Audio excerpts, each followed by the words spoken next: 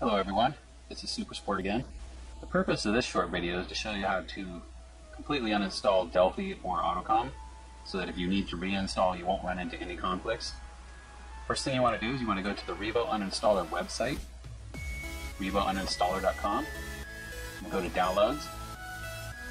We'll download their free uninstaller right here. Save it to the desktop. I've already downloaded it going to want to override it. It's a pretty quick download. Matter of fact, it's done already. I'm going to close this browser and we'll install Revo Installer. Just go through all the defaults. This is a free program. Um, if you like it, I highly recommend you buy the full version. It's really a great program for uninstalling things. Okay, we'll go ahead and run it now. Uh, here first, they're going to pop up their window saying thank you for installing and purchase if you want to. Again, you don't have to. Um, the free version does pretty much everything you need. Full version's a little nicer. Close that.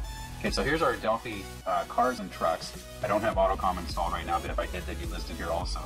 So I'm going to delete one of them, we'll double click, or you can single click and click uninstall, but I'm gonna go ahead and double click. Yes, I do wanna install it. We'll go to advanced mode that does a more thorough cleaning. What's happening now is creating a system restore point inside Windows.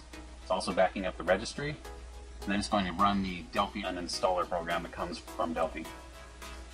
Go through the Delphi uninstaller, install, yes I'm sure.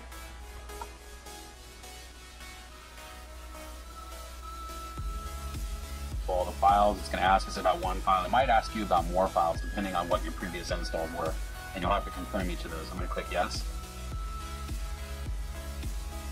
Again, you might end up with a lot of those. I know some of the installs in the past have added a lot of extra files that need to be deleted manually like that. Okay, it's finished the Delphi uninstall, so let's click next and finish. Now we're going to let the Revo uninstaller scan for left behind items. It's checking the registry and your file folders for anything extra that's left behind. I'll click next when that's finished. And here's the registry items that were left behind. We'll select all, delete, next, and here's all the files and folders that were left behind. Select all, delete, yes, and click next. And that's it, Delphi Cars has been fully uninstalled. So you could actually use my, my Delphi all-in-one installer to install now and it would work fine.